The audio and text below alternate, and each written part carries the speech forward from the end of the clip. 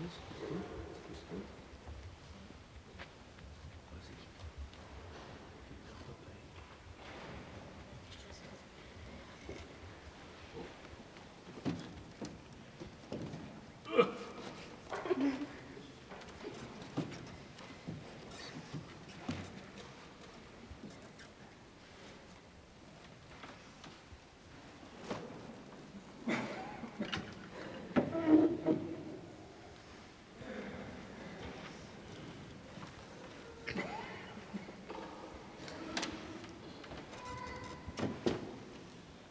Eine besondere Krippe heuer.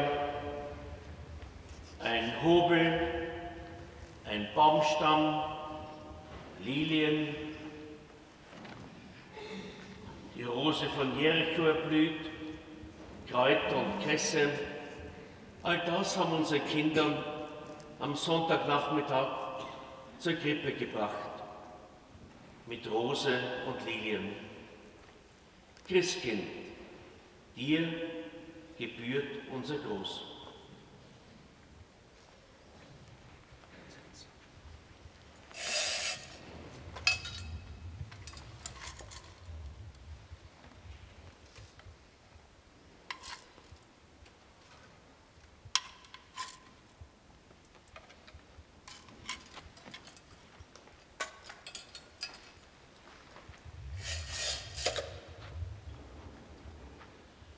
Weihrauch, ein altes Zeichen der Ehrerbietung, seid dir Kind in der Krippe, wenn auch nur hier Holzfigur geweiht.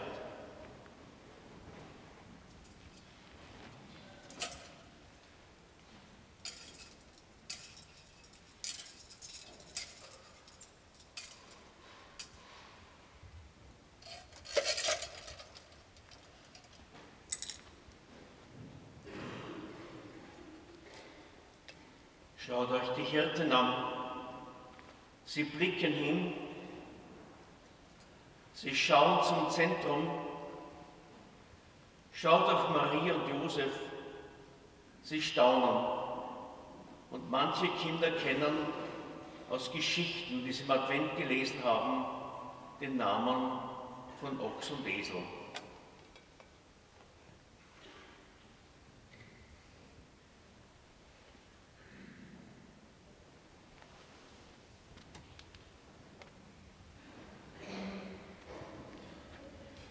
Auch erblüht eine Christrose, dir zu Ehren, liebes Christkind.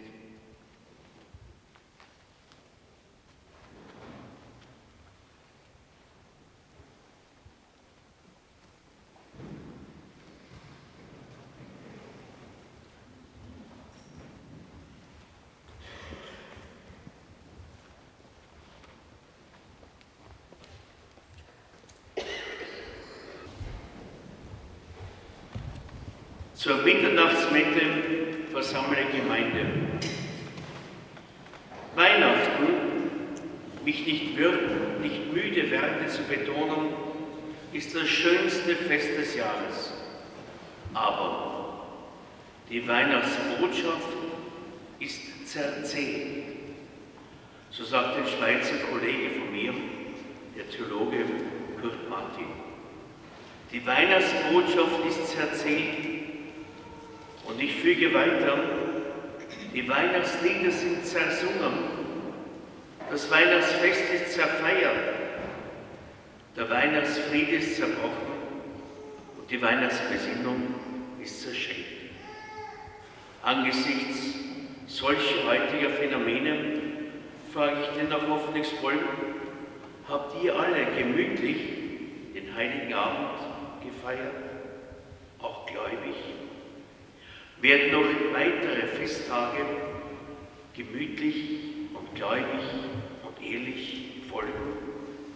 Denn das schönste Fest des Jahres kann nicht in einer Stunde, nicht in einem Abend und schon gar nicht in einer Nacht gefeiert werden.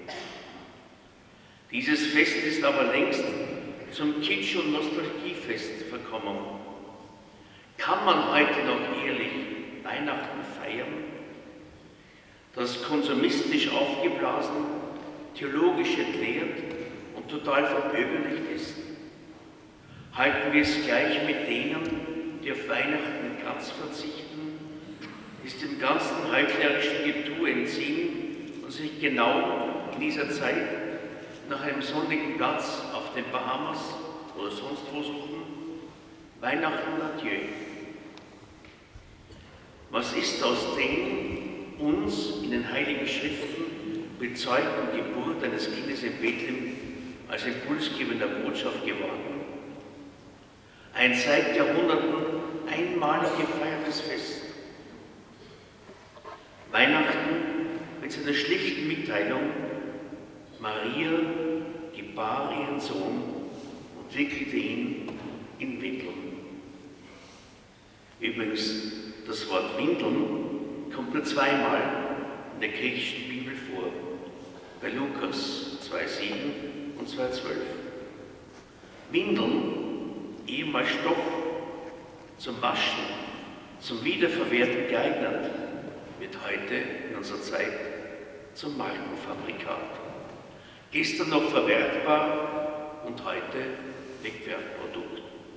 Jedenfalls gestern und heute unappetitlich sind, waren und bleiben Windeln für Neugeborene und deren Bezugspersonen. Mutter Maria sicherlich und Vater Josef möglicherweise haben Jesu Windel gewechselt. Ich entdecke, dass es keinen heiligen Menschen gibt in der 2000-jährigen Kirchengeschichte, der sich je um Jesu Windel gekümmert hätte. Unsere heutige Kirche als Glaubens- und Lebensgemeinschaft sucht Frauen und Männer, die Reklame für Jesu Windel machen. Das heißt Menschen, die Dreck und Gestank der heutigen Zeit und der Welt entsorgen. Sozial gesinnte Begleiterinnen sind gesucht und eingeladen, diese menschliche Müllbeseitigung durchzuführen. Insbesondere kirchliche Einrichtungen und Organisationen auf allen Ebenen unserer Kirche bieten sich dafür an. Wo sind die Menschen, die sich dafür bereit erklären? Was ist aus diesem Winkelkind, so frage ich weiter, geworden? Ein zwölfjähriger Pubertierender? Ein Jüngling, der möglicherweise Karten gespielt hat? So haben wir es im vierten Parategottesdienst bedacht. Ein politisch Infizierter, ein Suchender, ein Fragender, einem Glauben Lernender, so heißt das Buch Willem Brunners.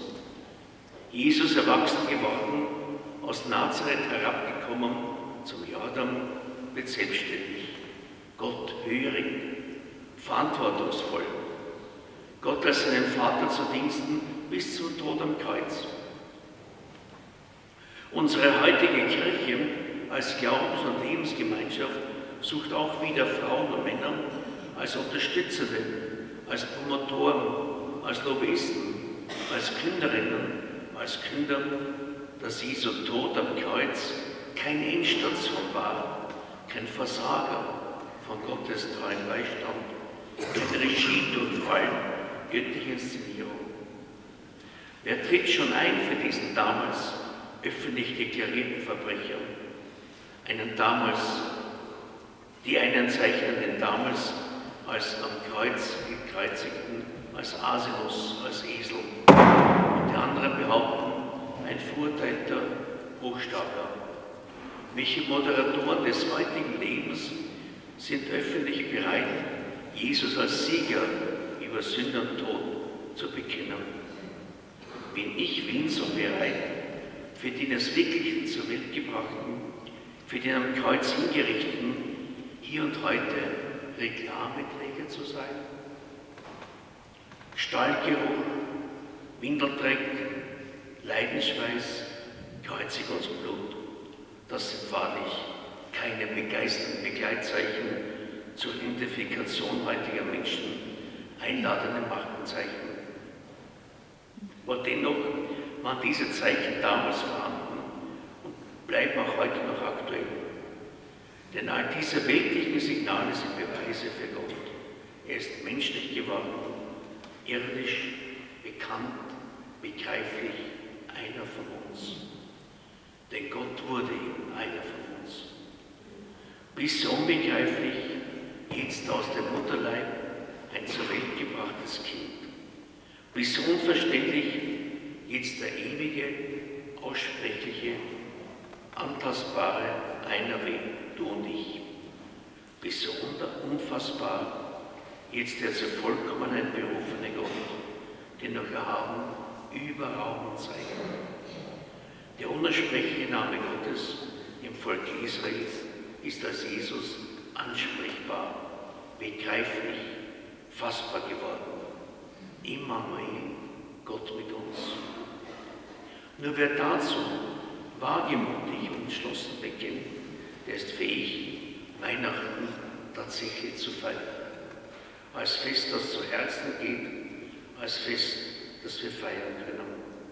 Nicht Weihnachten adieu, sondern Weihnachten cum Deo mit Gott, der sich als ein windeln gewickeltes Kind zeigt, der am Kreuz veränderte Verbrecher ist, der sich solidarisiert und identifiziert. Dieser Gott sucht heute für morgen Frauen und Männern, die willens sind, sich als Menschen liebesfähig einzusetzen. Verzeiht, dass die Stimme nicht besser durchgehalten hat als in der Form, als ich euch dieses Wort